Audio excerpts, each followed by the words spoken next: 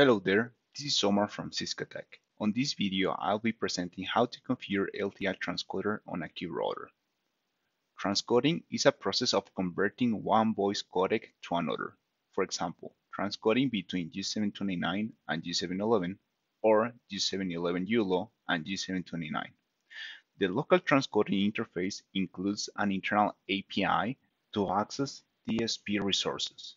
This API bypasses the need for CME configuration and licensing, as well as the use of a Skinny Client Control Protocol. Information about LTI transcoders.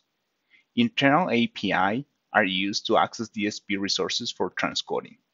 Transcoding resources and Cube need to be on the same platform. Only DSP farm profile configuration is required.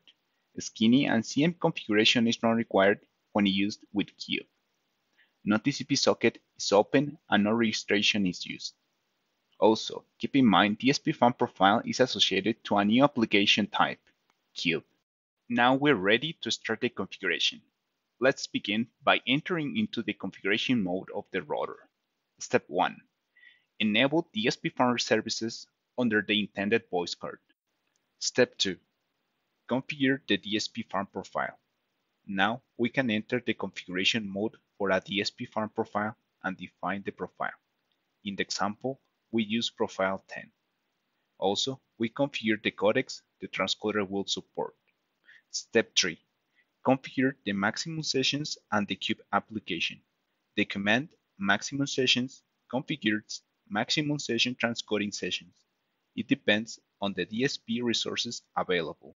Associate the Cube application to the profile for the LTI-based transcoding. Finally, you will need to start the service engine. Execute show DSP farm profile to verify the transcoder association with the Cube. I hope this video has been useful and thank you for watching.